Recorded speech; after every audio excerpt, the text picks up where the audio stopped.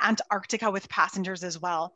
What really separates uh, Quark Expeditions from the other operators in these regions is that we only go to the polar regions. Uh, I know Jennifer mentioned a lot of other amazing areas in the world, but what makes Quark different is we are uncompromisingly polar. We are specialists in these regions, and we are all based on small ships. We have five ships in our fleet, all under 200 passengers, so 132 passengers uh, up to 199. But now I'd like to introduce you one of our two amazing special guests that we have with us today. And I have known Laurie Dexter, who will be sharing his screen shortly, for over the 12 years I've been at Quark Expeditions. And he is a mentor to many. Laurie Dexter is here with us today. And he is a fellow of the Explorers Club a fellow of the Royal Geographical Society, a member of the Arctic Club, and in recognition of his international contribution, the Canadian government has honored Laurie with the Order of Canada. So it is extremely a privilege to have Laurie with all of us here today to not only share his in-depth knowledge of the Canadian Arctic, but his own personal experience where he's lived and, and also been expedition leader. So please take it away, Laurie. Okay, thank you. Is my screen showing? Is Yes, your screen is showing. And my voice? We see you. You can't actually see your screen. You need to share that. Okay, thank you. Well, ladies and gentlemen, this is obviously Canada, and Canada is enormous. The second largest country in the world. Only Russia is bigger. But most people don't realize that Canada is almost as big north to south as it is east to west. And Roy, very- Roy, I'm going to interrupt. We can't see your screen. We can only see you. You cannot see my screen? No.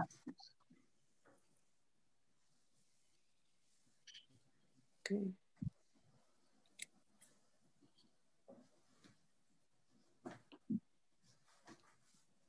Uh, Laurie, maybe share the bottom, the share screen, the green arrow. Yeah, I'm looking for it.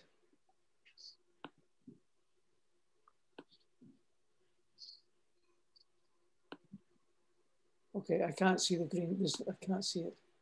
Someone's mentioned they saw it. I can't see the uh, master. Oh, no. I can't see the master. Um, the toolbar. Yeah, I can't see a toolbar. Any suggestions? Alex here. Do you, want, do you want me to jump into Greenland while Laurie's figuring out his, uh, his slides? I just want to say that when you push on the share screen, it says host disabled participant screen sharing. So maybe Laurie's come in as a um, participant and that's why he can't share his screen. Laurie is a co-host. Um, actually, Alex, if you want to do the Greenland portion, that would be great. Sure. Hi, everyone. Alex here. I'll just uh, share my screen. You should be able to see it uh, now. Can someone confirm that you can see my screen? Yep, a map. Perfect. Yeah, a map. Great. Well, my name is Alex McNeil. I've been working for Quark for almost 15 years. Uh, for many years as an expedition leader and guide, and I'm currently the director of expedition experience and innovation. So that means I get to dream up new and exciting trips. And today I want to talk to you about uh, some new programs that we have in South Greenland. These are called the Greenland Adventure Voyages. And don't let the name scare you. They're as adventurous as you want them to be, and uh, very much adventures of the heart, adventures of the spirit. Well, there's a picture of me, but you're looking at me on the screen anyway. So South Greenland's a, a little known destination. I think when we think of Greenland, a lot of images come to mind but this is an incredible place to be. And here's uh, a map showing all the deep cutting fjords, which you're going to see some lovely pictures of.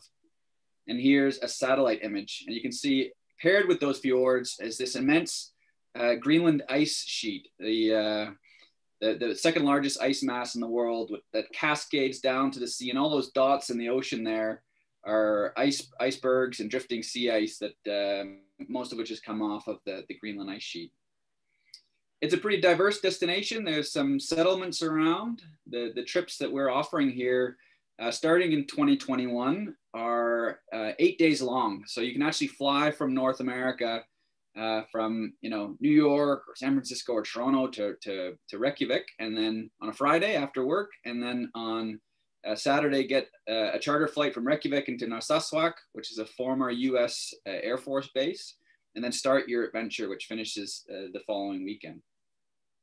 And this is some of the scenery that you'll see. This is spectacular South Greenland here. And uh, one of the incredible parts of this experience is that it's going to be on board our new vessel, Ultramarine, which you'll be hearing all about. And I consider this, as someone who's been designing trips for Ultramarine around the Arctic and the Antarctic, I consider this to be Ultramarine's ultimate expedition. It brings out the best the ship has to offer and uh, is kind of the, the first of many innovative programs that we're going to be uh, putting out there on, on this beautiful ship. And it takes the, the core, a lot of the core experiences which Quark has been running for 30 years, and then adds some new ones that are, that are unique to this, to this program, to this region.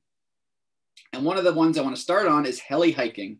So everyone on board will have the opportunity to use uh, one of our uh, twin engine H-145 helicopters uh, to go out in small groups, you know, groups of 10 or so, uh, out into the, the wilderness here and uh, stretch your legs as much or as little as you want. And um, it's a great way for people of all ages, of all abilities, uh, to get out into the wilderness and, uh, and soak it all in.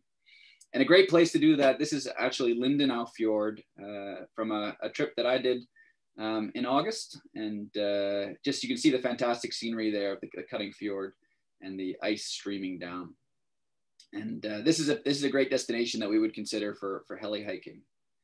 Another big part about visiting Greenland is uh, the communities, the, the culture there. The, the Inuit and Greenlandic culture is such a feature of any trip to Greenland, and South Greenland has some incredible communities, including Aappilattoq.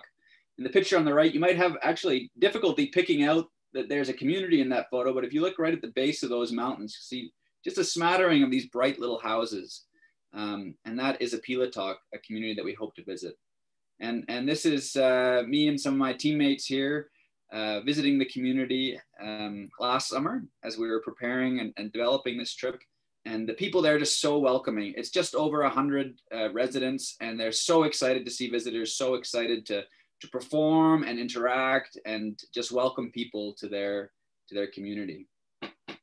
Another experience that's part of this, it's an included part of this, is our paddle excursion experience, which is a form of sea kayaking using inflatable uh, kayaks. So they're incredibly stable. Uh, you don't need to have any kayaking experience, and there has never been anyone who's fallen out of these boats. Um, but they're a great way to get up close and personal with some of the ice features and just relax in, uh, in the serenity of the environment and really take it all in. One of our uh, additional options that if, if people want to sign up for is our Greenland camp experience. And that's where we'll use the helicopters on this trip uh, to take a small group of people in to stay at this remote camp, uh, which is run by our partners at Tasermiut Camp uh, in Greenland. And a big feature of this is going to be interacting with the local hosts um, who also have an incredible interest in food. And one of the activities will be foraging around the local landscape and uh, harvesting berries and herbs and putting those into some of the meals that you'll enjoy at the camp. Um, this experience would start around lunchtime and, and, and, and, a given day, and you'd spend the afternoon, the evening, and the morning at the camp, and then return to the ship the following day around lunchtime. And here's an example of some of the food that we've enjoyed there. Um, just really in, incredible that they can they can whip up these kind of dishes in such a remote area. South Greenland has a rich history of, of cuisine. It's uh, one of the only uh, agricultural areas of the Arctic. They have sheep farms and they grow vegetables there. And of course, being right by the ocean, there's a lot of seafood. So there's an incredible uh, culinary journey that you can take there. Here's a picture of the tents that are there. And uh, imagine waking up to this view and just looking out uh, over the majesty of South Greenland that camp is in Tasermiut Fjord, and Tasermiut Fjord uh, will be a destination for everyone on board the ship, not just those who go to the camp. And uh, it's just it's a beautiful, beautiful place. Um, another place is, is Prince Christian Sund, and this is an area that we would ship cruise. You can see the picture there on the right is of the ship sailing through uh, the narrow fjord that kind of goes from east to west uh, along the, the southernmost point of South Greenland. And this is uh, an opportunity for guests to marvel at the, the navigation abilities of the captain and his, and his crew, uh, but also the beautiful scenery. We're really passionate about working with local people, and this uh, expedition, more than any other in Quark's portfolio, and in fact, the expedition industry overall, is really engaged uh, with local partners. And so throughout this, this journey, any guest would have the opportunity to spend time with and get to know Greenlanders, uh, but also know that the voyage that they're taking is giving back to local communities and uh, being able to learn from and appreciate uh, local culture and history is really, really important part of the experience. And one um, structure that we've developed to help support that is called Tamasa, which in Greenlandic means you're, you're welcome or come on in. And often, uh, you know, many expedition trips will visit communities, uh, which we'll do on, on this trip, but we also developed a, a program where we would welcome the community members uh, on board for a kind of cultural fair where you'd be able to uh, experience Greenlandic food, music, some artists would come on board, some local leaders, politicians to talk about um, to talk about their region to, to guests on board. So it's a great opportunity for even being a, a guest on a ship to reciprocate uh, the hospitality that the, community and local people show to us as expedition visitors. Another experience that's included, like the heli hiking with the uh, helicopters, is the ice sheet experience. So flying up onto the Greenland ice sheet, soaring above the uh, the waters there, and actually landing and walking around on this incredible outer worldly um, feature, which is uh, something really, really, really special. And you can see there, you know, just just stepping out of the helicopter and onto this kind of unfamiliar surface, which, by the way, is not it's not slippery. It's uh, it's and it's completely safe, but uh, a very a very special experience that everyone would have the opportunity to participate in. Another really interesting destination is Qassiarsuk. As you move kind of inland from the coast and to the, the northwest of the South Greenland area, you have this rich agricultural area, which was uh, used, you know, a thousand years ago by early settlers, especially the, the Vikings, the Norse Vikings. So you have this modern Greenlandic agricultural uh, element uh, alongside some historical Viking ruins. Another paid activity is the alpine kayaking. So this is using the helicopters uh, to take uh, participants in small groups up to some remote alpine lakes uh, to go for, for a paddle in either the morning or the, or the afternoon. And here's some examples of some of the places that you can go. And again, this is no experience required. Anyone can do this. The helicopters do all the hard work. And once you're up there, you're just paddling around these, you know, pristine uh, bodies of water in, in complete serenity. You know, the helicopter leaves and you're there for, for, you know, a couple hours if you, if you'd like, and uh, are just able to really soak it in and make the most of your time in South Greenland. For those who want a little bit more of an active adventure, we do have a mountain biking program that people can sign up to. And of course, we have um, you know, our base activities of hiking and zodiac cruising. And one of the principal benefits of this program is it distributes everyone into small groups. So a 200 passenger ship, which Ultramarine is, is already really small and intimate. And then through these activities, you know, you're probably going to be out in a group of, you know, five to 10 people with a guide at a time. Um, so it's a really intimate experience. You really get to connect to the landscape. Um, a lot of the, the helicopter activities would be taking place uh, just at the beginning or end of, of meal times. So uh, if you're doing a conventional activity, you know, a Zodiac uh, enabled activity, you wouldn't have to worry about your experience being disrupted by helicopter noises. By the time majority of the people get out into their activities, the helicopters are shut down and you're really just surrounded by the, the peace and serenity. So this is a really exciting uh, uh, expedition that we've developed, and we, we couldn't be, be you know, more thrilled to be bringing this uh, to the world and uh, think it brings out the best in, in, in, ultramarine. To me, I touched on it, it's so important to, to involve the local people. And so this is an industry leading, uh, community focused uh, trip that, uh, that has strong partnerships with, with community members. This is my friend Kimmernak, uh, who's one of Greenland's leading uh, glacier guides. And so her and many others have been involved in, in developing this and will be involved in operating it once we, uh, once we bring it to life.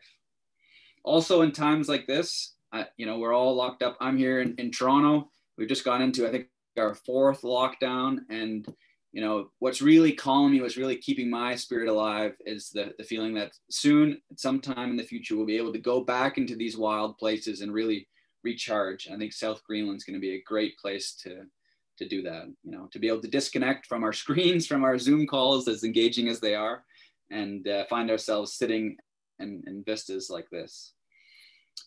So this is uh, this is the last slide here, and I'll welcome Laurie to take over the, the screen sharing if you can while I wrap up.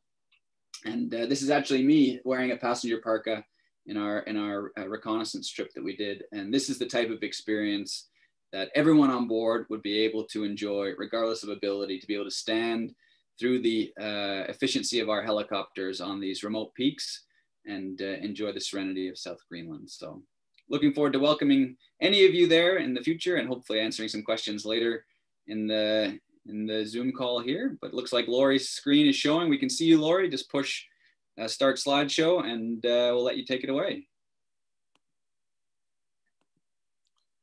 Okay, I hope that's uh, working this time, is it? Yeah, it's working. You're all good, Laurie. Okay, thank you. Well, Great. I'll just repeat the first bit because it uh, helps to have the slides because most people don't realize that Canada is almost as big north to south as it is west to east. And very few people have ever had the privilege of being able to explore the vast richness of the very far north Canadian's Arctic. So that's our destination today. On April 1st, 1999, a significant change was made to the map of Canada. The huge area that was called the Northwest Territories was divided into two. The area in the west, it kept the name Northwest Territories, the area in the east took the name Nunavut, which in the language of the Inuit means our land. Now, as you know, Quark Expeditions offers many destinations, but today this is our focus, Nunavut. And when you tell your friends you're going on a trip to Nunavut, some may say, where? And when you tell them it's in the Canadian Arctic, they may say, why? There's nothing to see up there except snow and ice. So let's change their minds. Nunavut is a land with spectacular scenery. With Quark Expeditions, you'll be introduced to unique wildlife and to a land with people who've made a rapid transition from an age of isolated survival to sophisticated self-expression. Ah, the Arctic, a land of myth and mystery, a land with a gripping tale of history, ancient and modern. This is our destination.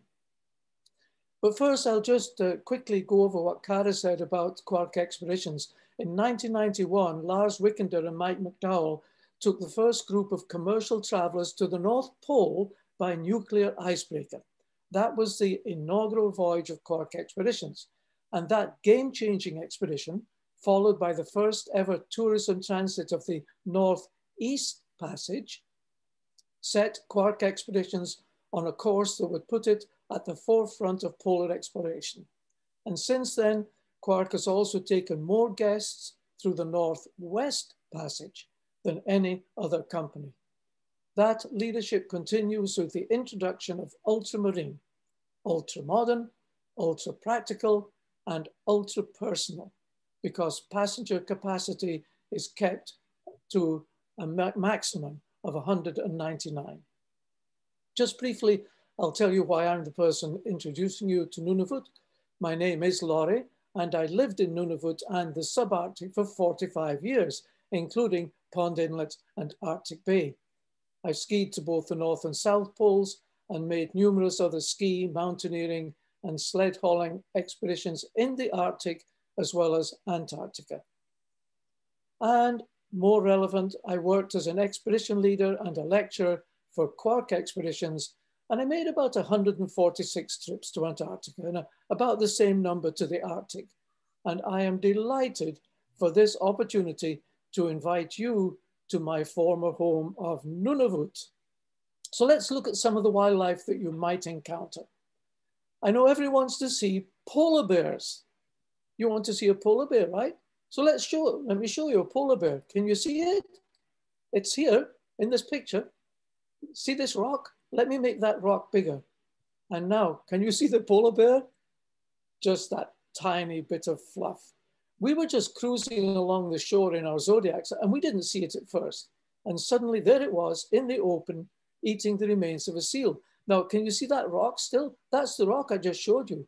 It doesn't look big enough to have hidden it moments before. So yeah, we do see polar bears on our trips, but they can also be elusive.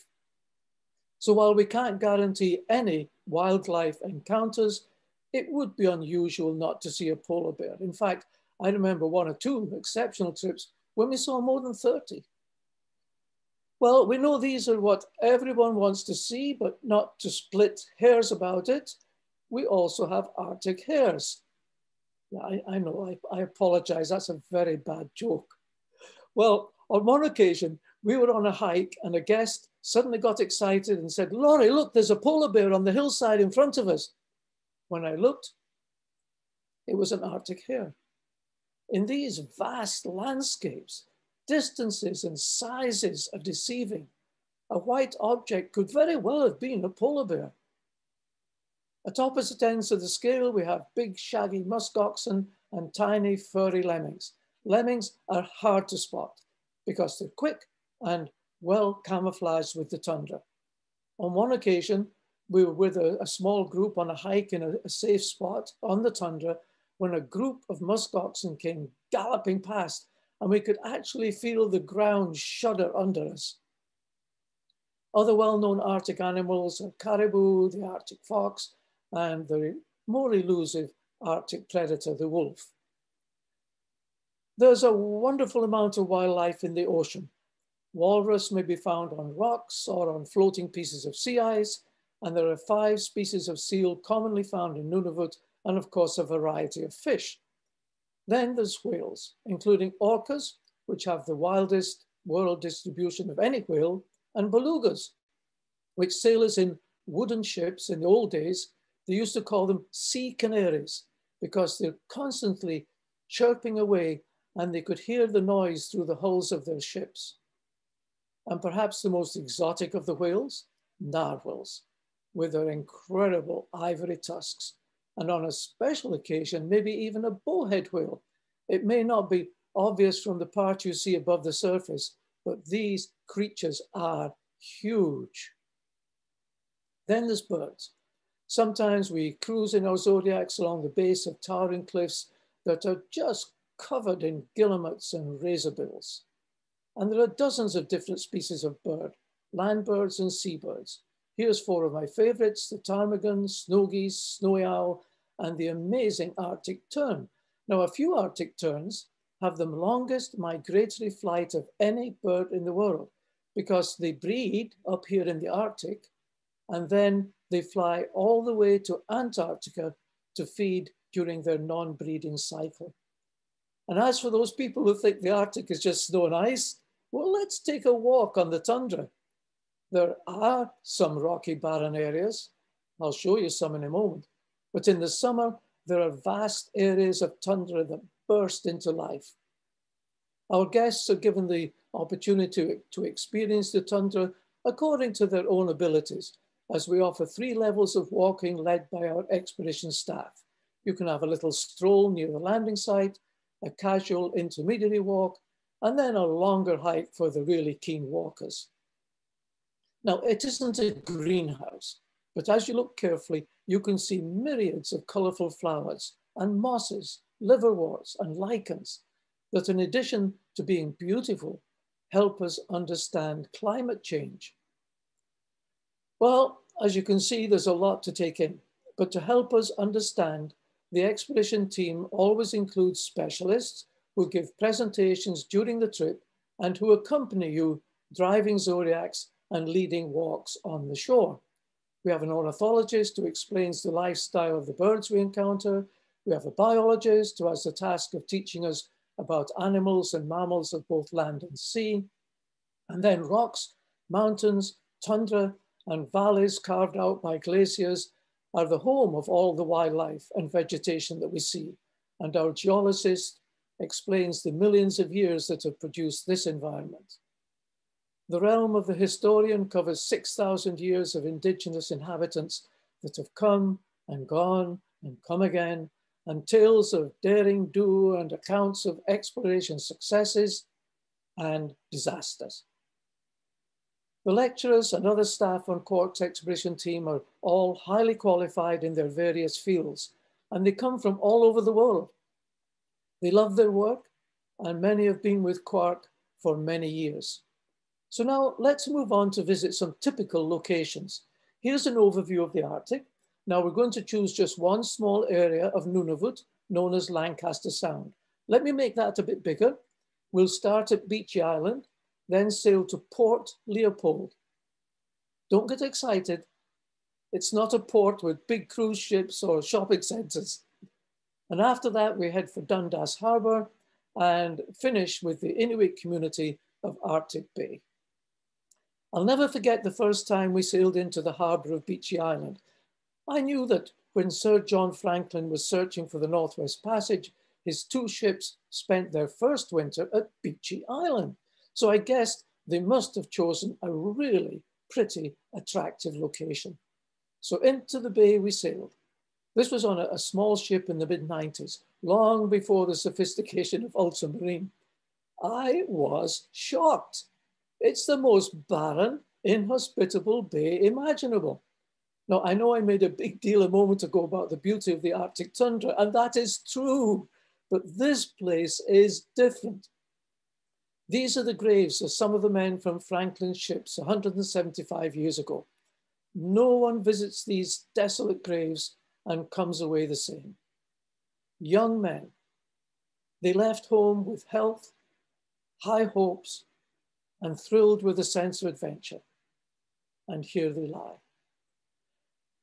I've seen our guests landing here with laughter, but by the time they've walked the short distance from the shoreline to these graves, laughter has turned to tears.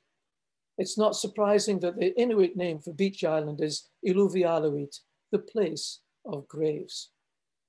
On more than one occasion, even in the height of summer, I've seen it like this. You know, I actually prefer it this way. It gives you a more realistic feel for what it was like for Franklin and his men. And of course, uh, you recognize the bright quark parkas. And with the yellow quark parkas, we are dressed to be comfortable in conditions like this. In 1981, the graves were exhumed, the bodies photographed, and small samples taken for analysis. Since then, a forensic artist has produced portraits of what these young men probably looked like. John Torrington, age 20. William Braine, age 32. John Hartnell, age 25. How can anyone not be moved to visit this lonely gravesite? But there's more. Further along the shore, we find the remains of an old building. It was called Northumberland House and it was built by one of the ships searching for the lost Franklin expedition. Now, there's lots of interest in this area, but one of the exciting discoveries for me may not seem so exciting for you. It was old rusty tin cans. Now, I was aware that some researchers had made a connection with the early canning of food and possible lead poisoning. And here I saw how the cans were made by using a soldered seal of lead, which must have gradually contaminated the food inside. And that in turn may have led to mental confusion in some of the decisions made by the early explorers. So are you, uh, uh, are you as excited as me now? From Beechey Island, it isn't far to another remote and desolate location, Port Leopold. Now, do not get the wrong idea when I use words like desolate or remote. They, these are not negative words. Indeed, this is why these northern trips are so powerful. And this is Port Leopold. Sorry, no cruise terminal. The Arctic vistas can be intimidating. Landing by Zodiac in a vast treeless landscape, it can be overwhelming. Visitors may in fact suffer from sensory deprivation. Most people are accustomed to high buildings that block out the sky. the noise of traffic, crowds of people, and the smells of a city. Suddenly they're in a wide open space with none of that stimulation. And it can make you uneasy. That is being sensory deprived. In reverse, when Inuit and other people who live in the Arctic come south from wide open landscapes, they often suffer from sensory overload because of all the noises, limited views, and crowds of people. You know, I remember when we moved from the treeless high Arctic to this house in Fort Smith, which was surrounded by trees, which our children weren't accustomed to. And I remember they came to us in the night. There's a scary sound, they said. When we checked it out, it was the wind blowing in the trees. Back to Port Leopold. In 1849, the Royal Navy sent two ships to look for the lost Franklin expedition. They were the Enterprise and Investigator. They spent the winter here, frozen in the ice, and they left a record that still survives. A rock with the letters E and I, Enterprise and Investigator, and the year 1849. I hope you can appreciate the power of this symbol. Each time I've been here, I crouch and try to imagine the weather beaten hands with a hammer and chisel carving into this rock. And I try to picture the men in two ships trapped in the ice, trying to survive in this bleak land that was so foreign to them, wondering if they will ever see home and loved ones again. Many years later, in 1926, the Hudson's Bay Company built a small outpost here because they thought it was central and uh, would be a good place to trade for furs with the Inuit but it was just too remote and it had to close down the next year. It's a tough environment. Strangely, the Inuit called this trading post Sirkinuk, which means the sun. I don't know why. Perhaps it was derogatory, perhaps just their sense of humor, because this place is very close to where I lived in Arctic Bay. And in winter, the sun sets in November and isn't seen again until February. So they called it the sun. but there's a fascinating addition. Further along the shoreline, we find the remains of Thule houses. And Gwen, our local Inuit guide, is holding a section of a bone sled runner.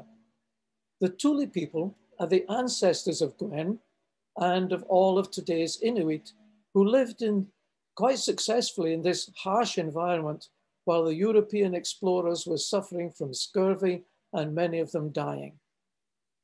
This then is Port Leopold, a place with many stages of history.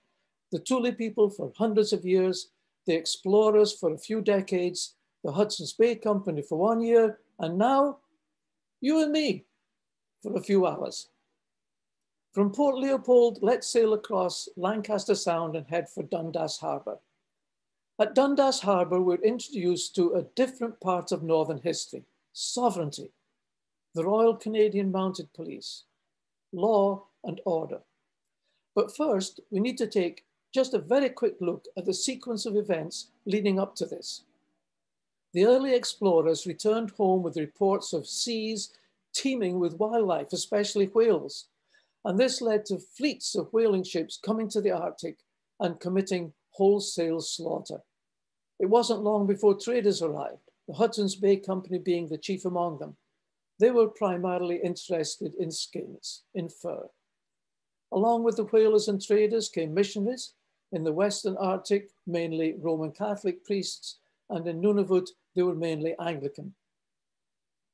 The Hudson's Bay Company sometimes boasts that the letters HBC stand for Here Before Christ. But if they did predate the missionaries, it wasn't by much. All of these, police, whalers, traders, missionaries, they left their mark. Everywhere we go, we are aware of their influence. So back to Dundas Harbour. After the Canadian government began to take a serious interest in its sovereignty over the Arctic, RCMP officers were sent to establish remote stations. This base was manned twice, 1924 to 1933 and 1945 to 1951, and the buildings are still standing. Considering it's 70 years since the outpost was abandoned, the buildings are in remarkably good condition, including the outhouse. Oh my goodness, there's so much to tell about this station, with Inuit families being brought here and tales of long dog sled patrols, but we don't have time, so I'll mention just one thing. Can you see something white on the hillside behind the buildings? It's a white picket fence around a graveyard. Two of these graves have a story to tell. The one on the right is for Constable Maisonneuve, who died of a self-inflicted gunshot wound on June 16, 1926. He was due to leave on the relief ship in August. Tragedy visited again the following August. Just before the annual return of the supply ship, Con Constable Stevens accidentally shot himself while hunting walrus. There's so much more to do and see at Dundas Harbour. There are many remains from the Thule culture, old graves, animal traps, the remains of old houses, bones from hunting, especially bowhead whales and walrus. These are the remains of a Thule settlement. As mentioned previously, the ancestors of the people still living in the Arctic. One of my favorite things to do is to lead a walk along the peninsula. Occasionally, I'll stop and say, uh, what do you see? Our guests look around and don't see much of interest. Then I'll point out a barely visible ring of stones that once held down a tent, or I'll show them a bone and explain how the Thule people hunted large bowhead whales, or invite them to sit in a small hollow in the ground or among what looks like a pile of rocks and welcome them into a centuries old living room. It's a powerful emotional link to the past. The Inuit name for Dundas Harbour demonstrates their sense of humor again. It's Tadluruti, which means a woman's chin with tattoos on it. It's a name derived from the gullies and streaks on Devon Island, which from a distance resemble the traditional chin tattoos. We need to be careful at Dundas Harbour, as everywhere. We often have the thrill of seeing muskoxen. To be fair, we usually see them further away, which actually is the preferred and safer way. There's always the probability of polar bears everywhere. I remember on one occasion, there was a mother and cub close to our landing beach here at Dundas Harbour. So we couldn't go ashore. We don't go ashore if a polar bear is there. But then the mother and cub began to walk away along the shoreline and we followed them in our Zodiacs. Later, we were able to make our landing using appropriate precautions with staff armed with rifles. Our expedition team always includes staff who are not only trained to handle firearms, but who are trained to recognize polar bear behavior. Our final special treat before we leave Dundas Harbour. Here, high on a cliff behind the houses, there is a gyrfalcon nest. And on a few occasions, we've been lucky to see a gyrfalcon. For me, this is a highlight. And of course, our birders need to be sedated afterwards. So far, we've been looking at abandoned sites, but now we're going to meet the people of the land, the Inuit, in the village of Arctic Bay. The people you will meet may live in extreme isolation, but they are modern and knowledgeable. Do not be surprised if a traditional carver talks to you about his trip to give an art demonstration last year in Tokyo or maybe Dubai I remember one man who was a traditional hunter who still preferred to use a dog team rather than snowmobiles. And one day he decided to take one of those around the world travel passes. I don't think he stopped at any country. He just kept going from one airport to another. Why? Well, why not? He just wanted to fly around the world. Back to Arctic Bay. This is a, a beautiful little community that blends modern sophistication with many aspects of a more traditional lifestyle. When I lived there, it had a population just over 400. Today, it's a major metropolis with about 900 people. It has satellite communication with the world, and hunters often carry a satellite phone with them. Modern communications are a part of life. People have good housing, well insulated, and built to withstand winter storms. The school is also well equipped and computers and iPads are integral to the educational system. They have a northern store, some other smaller shops, a modern health center, a recreation center, a church, and lots of other facilities. And just about everyone has a snowmobile, and many have trucks or cars. And you know, you can, you can always go shopping with your four-wheeler. For the three brief months without sea ice, many have high-powered boats. And when we reach shore, the kids come swarming all around our zodiacs and jumping in and out of them. And of course, it's a delight for us to meet the children. They also may have some of their elders in traditional dress greet us as we arrive, and perhaps they're throat singers. If you've never heard throat singing, you will be astonished at the rhythmic, guttural sounds they make as a duet. They might offer you some pan-cooked bannock or deep-fried bannock, and they might also offer you some muktuk, the skin of the beluga or narwhal, which was once a very important part of their diet because it's high in vitamin C. Sometimes when we visit, the young athletes give us a demonstration of their incredibly agile Inuit games. Or they may give a demonstration of cleaning a sealskin and local artists may give you the opportunity to buy a carving. You notice I've been saying they may do this or that because we don't always know exactly what they will provide during our visits. But one thing I can, can tell you, they always put on a good show. This tiny, isolated community, it knows how to host visitors. I hope you recognize this visitor. How would you like a selfie with Canada's Prime Minister, Justin Trudeau? And here is a gentleman sipping a good old English cup of tea.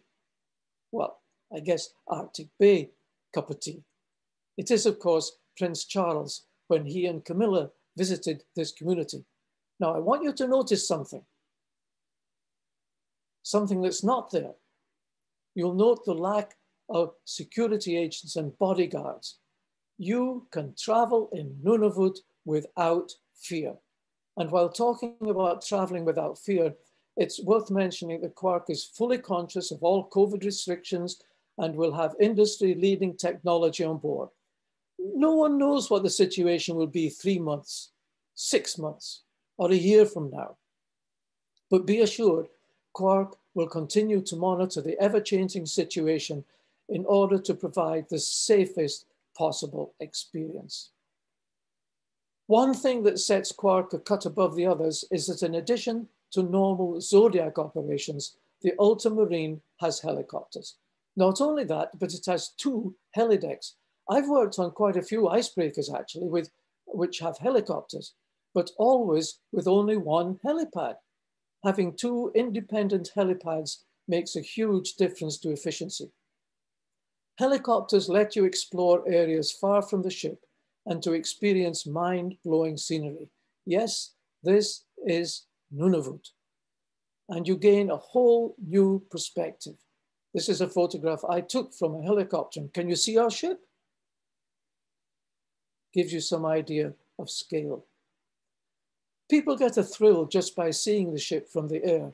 Not only that, but many people have never been on a helicopter. So that in itself is a special experience. And it's the helicopters that enable us to make landings in otherwise inaccessible places. Some of my most rewarding experiences have been either helicopter sightseeing or making remote landings on ice fields or in deep tundra valleys. This is where Quark is a leader in the industry. Not only is it an added dimension, but it provides greater safety. As an expedition leader, I have often used the ship's helicopter for general reconnaissance or to check out a landing to make sure it's safe from polar bears. Let me finish with the most important thing about the Canadian Arctic and Nunavut. It has scenery, it has wildlife, it has history, but most of all, it has people. Some of the elders who are still alive were born in igloos or summer tents. The Inuit face many challenges, but their ancestors have survived well for many centuries, and I believe they will continue for many more. Quark Expeditions is honored and proud to have the privilege of working alongside our Northern family. And also for this opportunity to introduce you today to Nunavut in Canada's Arctic. Thank you.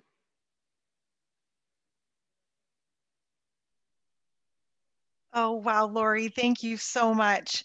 That was absolutely incredible. And now I cannot wait to go and explore other areas of the Arctic, especially uh, Nunavut. Uh, just to recap with everyone today, we have nine day itineraries going into these areas, um, as well as in, in with uh, Greenland, with Alex was sharing with South Greenland, so such short trips. Um, again, the Canadian Arctic, little as nine days, going in and out of Toronto. And I know we're running out of time today, but this is a very special 12-day itinerary, um, including Axel Heiberg and Ellesmere Island, some of the most beautiful places on the planet, all leaving again and departing from right from Toronto. If you want to explore Greenland and the Canadian Arctic, there are also 17 day opportunities and, and Baffin Island really highlighting that as well. So I just wanted to share a little bit of, of what we had today. So thank you so much. Do we have any um, questions, Annabelle and Jennifer? Actually, we have a ton of questions. So yeah. I'm going to try to get to them all being really respectful of everybody's time. First off, a couple of people have messaged me privately asking about a recording of this presentation. Um, and yes, everybody who is RSVP'd will get a link to the recording in a few days, probably not until early next week, but we will send that out.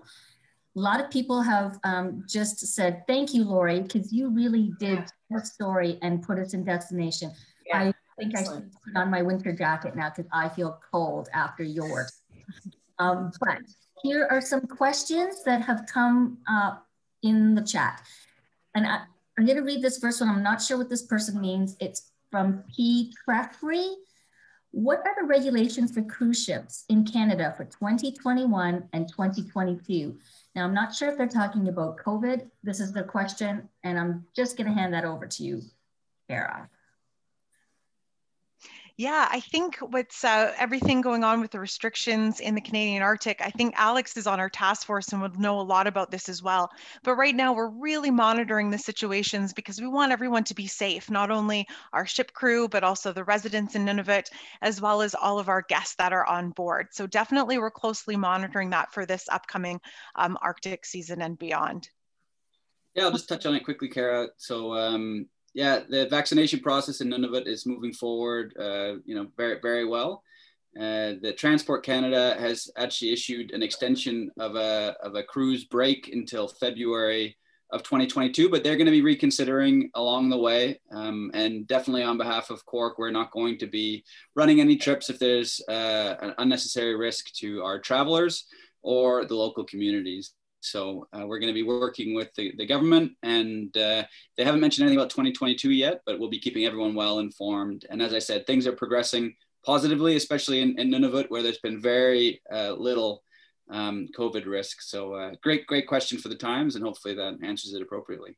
Actually, that answered a couple questions. So um, I'm going to move on to the next topic. Somebody's asked about the ships. Isn't, and I'm going to assume this is the ocean, isn't it more bouncy that can cause vomiting? Like what are the incidents of seasickness? Do you guys carry medication? Yeah. Lori's done the most trips out of all of us. So I'll pass it to you, Lori. well, yeah, the, the smaller the ship, the, the more motion you're likely to get. But this ship, it does have stabilizers. Uh, for its size, it's one of the most stable ships. And in any case, we have good drugs. and it's true, you know, with, with modern medication, you can, you don't have to get sick. Uh, inevitably, some people are more susceptible than others, and uh, but seasickness is one of those. It's one of the worst things you would experience, but it's also one of the best because, unlike anything else, uh, it clears up very quickly. And after the first day or so on the ship, you'll be just fine. And and once once it's not like many other sicknesses where you feel ill and weak for a long time afterwards. The instance it's it's over, it's over.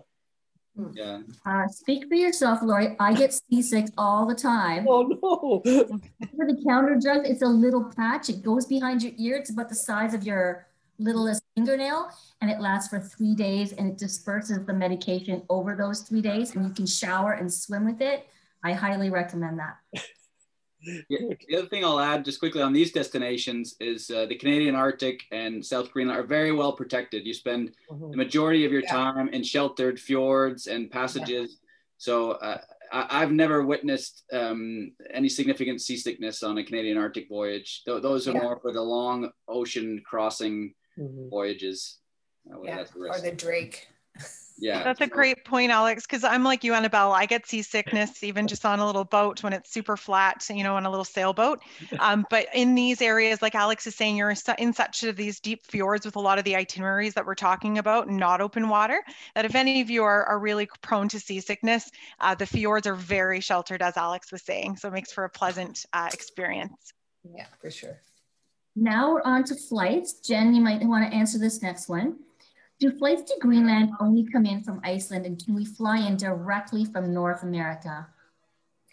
Um, right now, the only ones that are coming in are from uh, Iceland or from Denmark, because Greenland is part of Denmark. So we don't have anything from North America. So you have to fly into Reykjavik or into Copenhagen.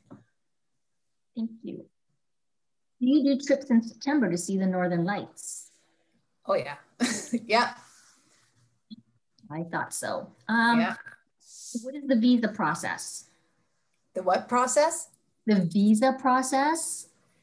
Um, well, if you're a Canadian, you don't need any visas, but that's one thing that your agent will look after before you go because things can change, especially with COVID. You might need this COVID passport if we get it. So that would be checked when you when you book and before you go. But for Greenland and Canada's north, you don't need a visa with a Canadian or American passport or most Europeans. Um, you would need a, a, ETA for Canada if you're European, though. Um, but that's something that we can go through with you. Yeah, and essentially too, within terms of flights, um, a lot of the itineraries that we spoke about uh, with the Canadian Arctic and Canadian Arctic with Greenland, you're essentially in your own travel bubble because they are chartered flights with Quark Expeditions. Mm. So as soon as you're arriving in Toronto and going to your hotel and embarking the ship with your fellow passengers, uh, you're essentially creating your own bubble for these types of itineraries, which is great. What is the best month of travel and what's the temperature at that time? Maybe I'll, I'll, speak to South Greenland and then pass over to, to Lori for Canada. But uh, so we, our trips are operating in July, which is we've picked strategically uh, because that's an amazing time of year. You know, in, in May in South Greenland, it still can be quite windy, which can interfere with the helicopter and flight operations. In June, there can be more bugs around, but those are usually gone by July. And then you have this perfect time where you have a great weather window and the temperatures are actually quite warm in South Greenland because it's it's uh, in the southern part of the, the, the main area of Greenland. And so average temperatures would be between 5 and 15 degrees above zero Celsius. Um, before I pass over to Laura, the other thing I'll mention just on Northern Lights is uh, some of our Canadian Arctic trips do take place in September, and uh, you would have some opportunities for Northern Lights on, on those departures. But over to you, Lori, for time of year in the Canadian Arctic. Yeah, uh, the, the Canadian Arctic has more ice than over in, towards Greenland, and it doesn't finally break up until July. So all the trips up there, you really have only three months of open water, July, August, and September. Yeah. Uh, July itself is, is still a little bit uh, tricky with ice. So most of our trips take place in August and September. Temperatures, same as what Alex said, between five and 15 degrees. Um, 10 is a normal summer day. Um, I've, it's not usually more than 15 degrees, but it, it can be. Uh, but you, a lot of a lot of sunshine. Thank you. How far in advance do you have to book one of these types of trips, Jennifer? Well, usually with the expedition, it's traditionally done. People like to book up to two years in advance. Um, and with what's happened with COVID, a lot of the trips for 2022 are really full. And if 2021 is officially canceled um, by some companies or will be canceled, then a lot of people will be moving to the next year. So yeah, I really believe as soon as the trips come out, you should try to book. You get a better selection of cabins. There's usually always an early bird discount and uh, you get the trip you want, you get the cabin you want. And um, there's so many flexible booking policies out there now and um, low, lower deposits. Um, so different companies offer different things. So Kara, if you wanna address the booking conditions right now, yeah, absolutely. Um, because we do have some space on our 2022 departures. Like Jennifer is saying, um, people are booking more in advance or their trips are shifting from one year to another. One big trip is shifting to another year. And so Quark Expeditions has wonderful early booking bonuses, like Jennifer was talking about. So even up to 30% off if you book by the end of May, of this May of 2021. So a lot of people are booking in advance. So please chat with Jennifer, and Jennifer can always uh, grab grab me as well to chat more in depth about certain itineraries we've spoken about today, or certainly other areas, even like Antarctica.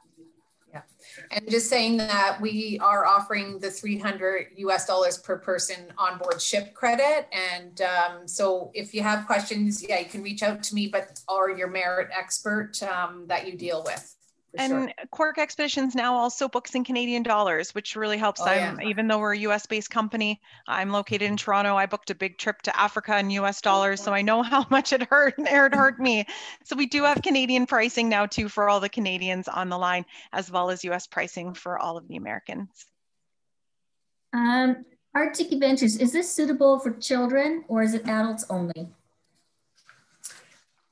I can well, take that, Kara. Or yeah, yeah, great.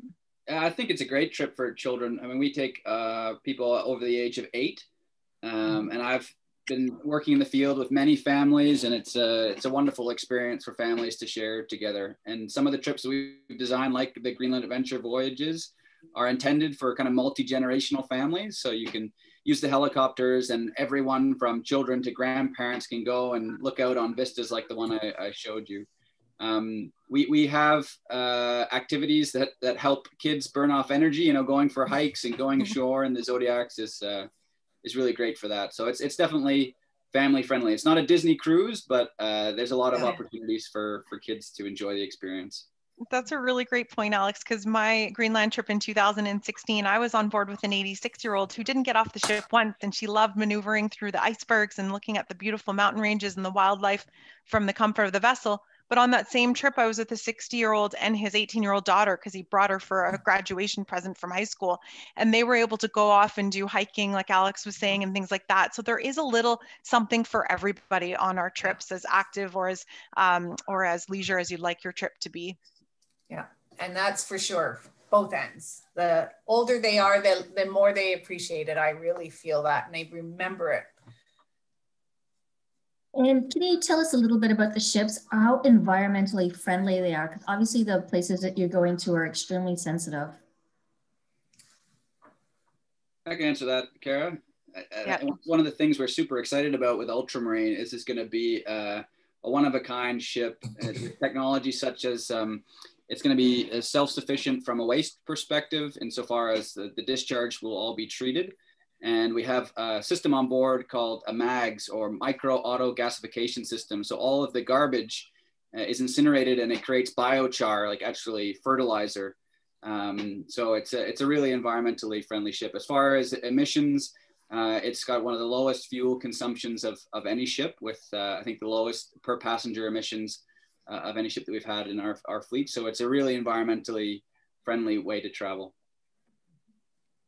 And mm-hmm. if people do want more information, please write to Jennifer and Merit because we did become, um, we came out with a wonderful Polar Promise, a huge sustainability initiative, and it's public. So I love how a lot of travelers now are becoming even more environmentally conscious in their choices.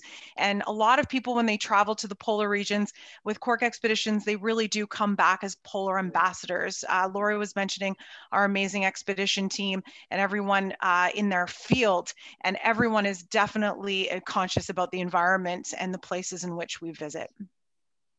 Okay, thank you. Um, we have a couple questions about the single supplement policy. A, do you match people up? Or B, what is the, um, I guess, supplement that you have to pay for a single traveler? Yeah, what's wonderful now is with our new Ultramarine and a couple of other vessels in our fleet, we have solo cabins. Uh, so there are solo cabin pricing in the event that those aren't available or maybe they're sold out or another ship, we do pair uh, travelers that are solo uh, with another uh, gender of, of them. So if there's a, a, female that's traveling, we can easily pair them up with another solo female traveler. Uh, and what's neat is you'll find like-minded individuals on this trip with what Jennifer was talking about at the beginning about expedition travel in general. I love the diversity of people on board. And if you do come alone, you'll meet so many people from around the world. Okay, and this is the last question, and I think we're going to cut it off after this one.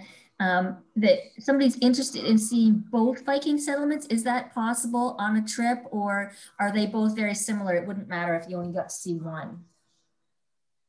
Um, yeah, I guess that's a question for South Greenland with the Viking settlements. It's there's actually thousands of them scattered around the landscapes of South Greenland. So uh, we were talking. There's a UNESCO World Heritage Site down there that's designed around these this Viking heritage. And he was really excited actually that we were going to be coming with helicopters on board because he said there's probably a chance that you'll be flying around and you'll discover a never before oh. known Viking ruin.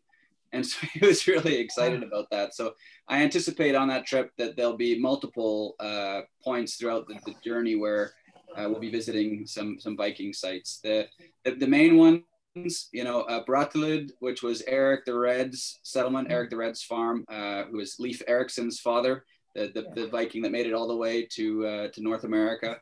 Um, that's in in Qassiarsuk. That was the the ruin that I showed. So there's plenty of Viking history opportunities in South Greenland. Yeah. Hey. I think that wraps it up for the questions. Um, I want to thank the Quark team and Jen for such a great presentation. Uh, and thank you all of the listeners out there who stuck with us till the end. Um, if you're interested in more travel, traveling with us virtually, we do have another one coming up shortly on Ireland, where we're going to take you to um, a farm, as well as talk to you about different tours that we op offer there. So thanks again, everybody.